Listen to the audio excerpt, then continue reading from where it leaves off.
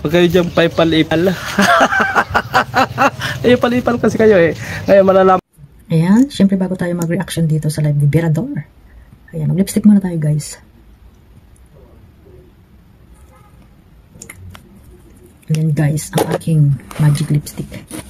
So ayan mga Kalingap, welcome back to my YouTube channel. Magandang araw po sa lahat. Ito po ang inyong lingkod, Kalingap Maymay. At syempre bago natin simulan, no? Ang reaction natin dito kay um, sagot, I mean, ayan. Sagot natin dito kay Berador sa kanyang live. Uh, shoutout muna tayo sa ating founder, Kuya Bal Santos Matubang. At ang kanyang may bahay na si Ate Edna Vlogs. At ang kanyang anak na poging-pogi, ayan, si Kalinga Prab. At syempre ang kanyang may bahay din na si Jack Matubang. Ayan, mega mega love shoutout po. At syempre ang ating mga ambassador, deputy at mga kalingap scouters po dyan sa mga landing pad na binuo po ni Kuya Bal. Mega love shoutout po sa inyo at mag-iingat po kayo mga kalingap.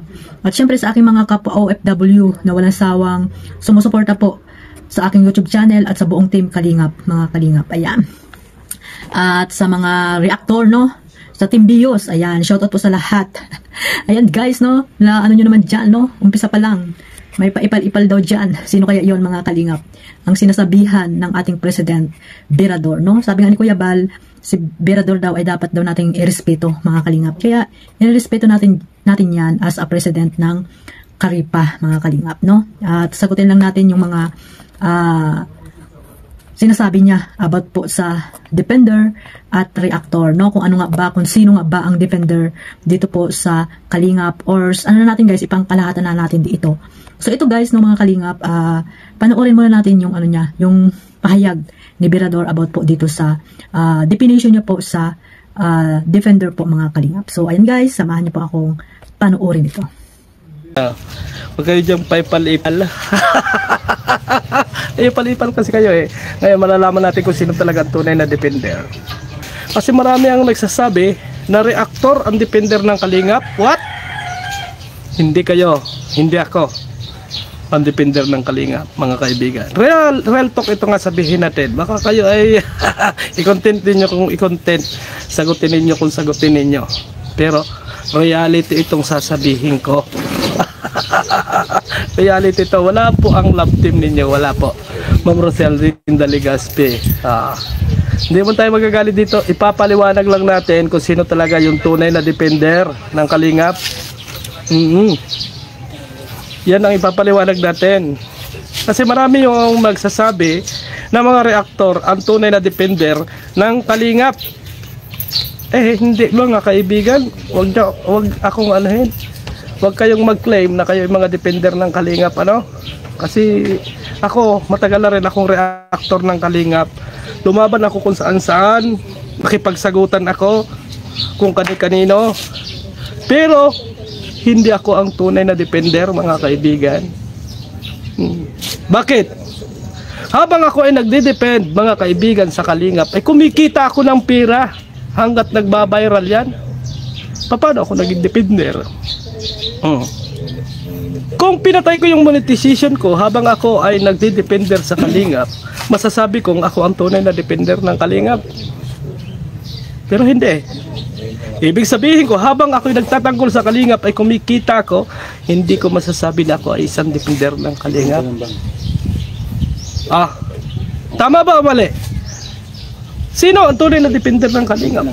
Yung mga legit viewers ng Kalingap ang totoong depender ng Kalingap. Bakit? Sila yung mga tao na nagtatanggol sa Kalingap na wala silang nakukuhang pera. Sila yung mga tao na nagko-comment dyan at ipinaglalaban ang Kalingap pero wala silang nakukuhang pera. Baka sabihin ko, depender ako. Ako tagapagtanggol ng kalingap. Ang kapal ng mukha ko. ang kapal ng mukha ko kung ganon. O, oh, alibawa, ipinagtanggol ko si Mr. J. Ay, walang view si Mr. J. Hindi ko ba ipagtanggol si Mr. J? Real talk. Kita ko nung mag-comment kay Mr. J, ang sabi kay Mr. J, palamunin. Hindi ko man ikinontent. Wala mang views yun. Oh, ay kung ako talaga tunay na defender mga kaibigan, iko-content ko yun at kalingap si Mr. J. Oh, bago kayo, real talk, real talk, sasabihin niyo sa akin na si na ano ang mga defender ng Kalingap. Eh, we, hindi, wag ako ay. Wag ako. Tagal na akong reactor mga kaibigan.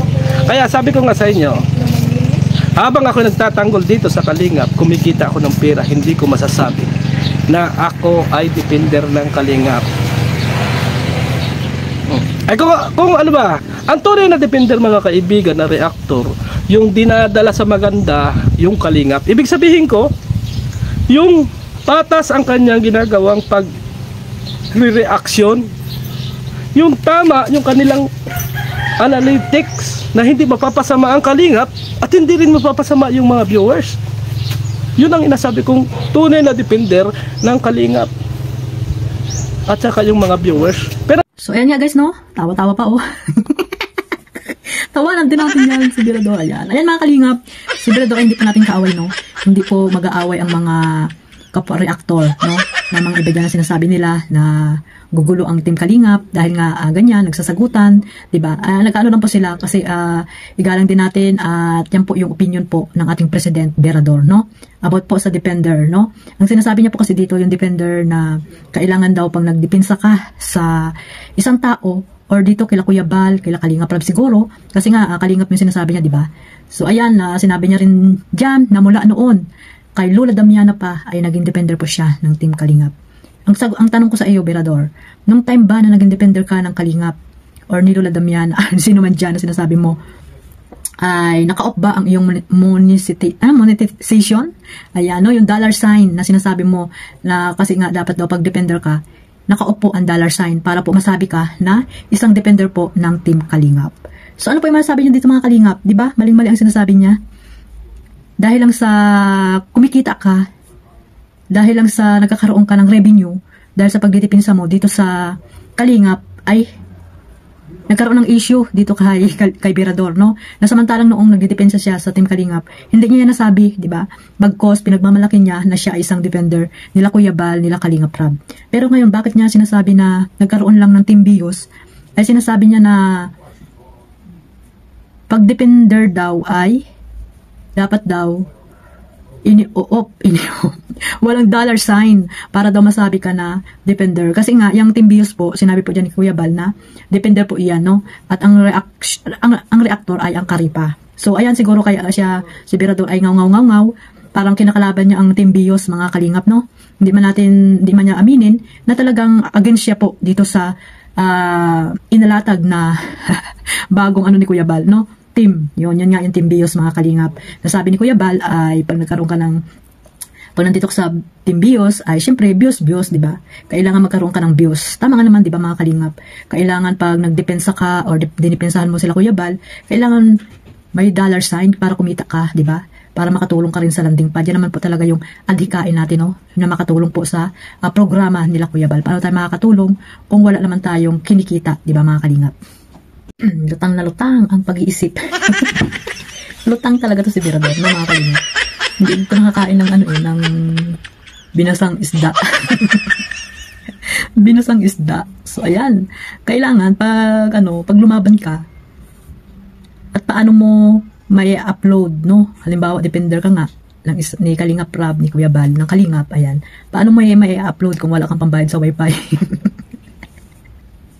kung wala kang kinikita, di ba? Ano yan? May YouTube channel ka, tapos makikipagbakbakan ka kung kani-kanino dyan, or dito nga, kung may kumakalaban kila Kuya Bal, makikipagbakbakan ka dyan, makikipagpatayan ka, ano-ano sasabihin mo para lang ipaglaban itong si Kuya Bal Santos Matubang.